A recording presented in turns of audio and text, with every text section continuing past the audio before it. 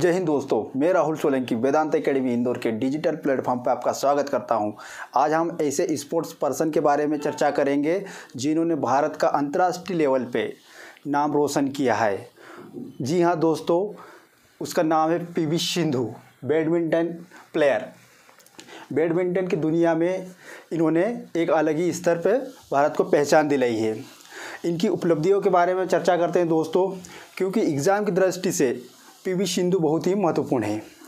तो चर्चा करते हैं पीवी सिंधु के बारे में। पहली बात तो यहीं से क्वेश्चन आता है कि पीवी सिंधु का किस खेल से संबंधित है? तो है बैडमिंटन खिलाड़ी। ठीक? तो ये ध्यान रखना आप। अगला देखते हैं। भारतीय महिला बैडमिंटन खिलाड़ी पीवी सिंधु। नाम है पीवी सिंधु। इसका पूरा नाम की बात करते हैं तो इसका पूरा नाम है पुसरला वेंकट सिंधु। तो ये क्वेश्चन भी पूछा गया है तो आप इसको भी नोट करिए। जन्म की बात करते हैं तो इनका जन्म हैदराबाद में हुआ था, पाँच जुलाई उन्नीस सौ पंचानवे। खैर ठीक, ये तो नहीं पूछेगा, लेकिन ये हैदराबाद, तेलंगाना, ये हमारे लिए इम्पोर्टेंट है। तो ये चीज़ अब ध्यान रखना, हैदराबाद, तेलंगाना। इनके कोच का नाम भी पूछा गया है कोच है पुलेला गोपीचंद। तो ये क्वेश्चन भी पूछा गया है। पीवी सिंधु से जितने भी क्वेश्चन बनने की संभावना है दोस्तों, उन सारे पॉइंट पे हम डिस्कस करेंगे। सम्मान की बात करते हैं तो सम्मान तो पद्म भूषण अवार्ड ठीक है? पद्म भूषण अवार्ड की बात करते हैं तो 2020 में इनको मिला है पद्म भूषण अवार्ड फिर बात करते हैं राजीव गांधी राजीव गांधी खेल रत्न। राजीव गांधी खेल रत्न 2016 में ही इनको प्राप्त हो गया था। ठीक?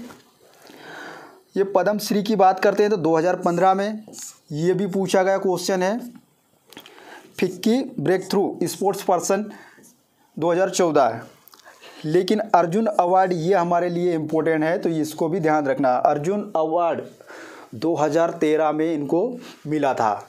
देख सकते हैं सिल्वर मेडल इनके पास में है। सिल्वर मेडल कब जीता था? पीवी सिंधु ने 2016 रियो ओलंपिक। रियो ओलंपिक में। में जीता था। ठीक, रियो ओलंपिक में इन्होंने सिल्वर मेडल जीता, इसलिए इसका नाम, उपनाम किस नाम से जाना जाता है और सिल्वर गर्ल? सिल्वर गर्ल्स के नाम से जाना जाता है। और ओलंपिक में दो मेडल जीतने वाली पहली महिला खिलाड़ी बन गई है। उपलब्धियों के बारे में बात करते हैं। उपलब्धियाँ, ओलंपिक खेल। कांस्य पदक 2020 टोक्यो ओलंपिक। रजत पदक 2016 तो ये चीज़ आप ध्यान रखना है कि इन्होंने ओलंपिक में एकमात्र महिला मात्र महिला जिसने ओलंपिक में दो मेडल जीते जिसने ओलंपिक में दो मेडल जीते मेडल। तो ये चीज़ अब ध्यान रखना है। है ना? 2016 में रजत पदक जीता था और 2020 में अभी हाल ही में कांस्य पदक जीता है। फिर बात करते हैं पॉइंट नंबर टू विश्व चैम्पियनशिप्स खैर, ये हमारे लिए इतना इम्पोर्टेंट नहीं है, लेकिन कुछ इम्पोर्टेंट इसमें देखते हैं। स्वर्ण पदक 2019 तो ये थोड़ा हमारे लिए महत्वपूर्ण हो सकता है। ठीक? विश्व चैम्पियनशिप महिला में इन्होंने स्वर्ण पदक जीता था बेशल में। और रजत पदक 2018 में नाजिंग है ना? फिर रजत पदक 2017 में जीता था ग्लास्को और कांस्य पदक 2014 और कांस्य पदक 2013 में भी इन्होंने जीता था। तो ये चीज़ आप ध्यान रखना, हमारे लिए इम्पोर्टेंट क्या है? सबसे ज़्यादा इम्पोर्टेंट ओलंपिक 2016 भी पूछा जा सकता है तो ये चीज़ आप ध्यान रखना।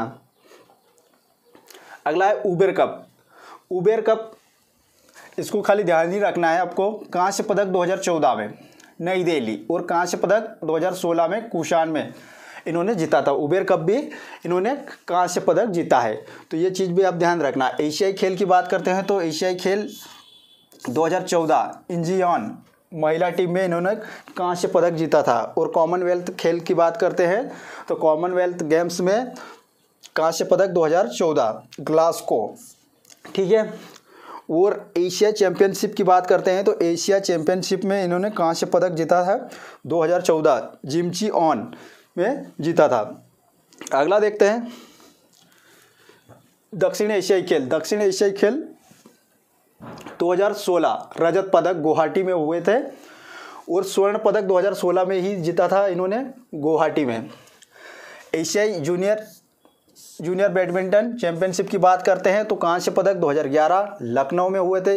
ये ये गर्ल्स है दोस्तों। Girls single. और कांस्य पदक 2011 में लखनऊ में जीता था मिश्री टीम में।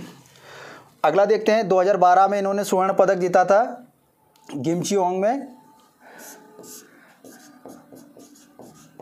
Girls singles. Commonwealth Youth Games की बात करते हैं तो कॉमनवेल्थ यूथ गेम्स 2011 में डगलस, ठीक? में जीता था इन्होंने गर्ल्स सिंगल में।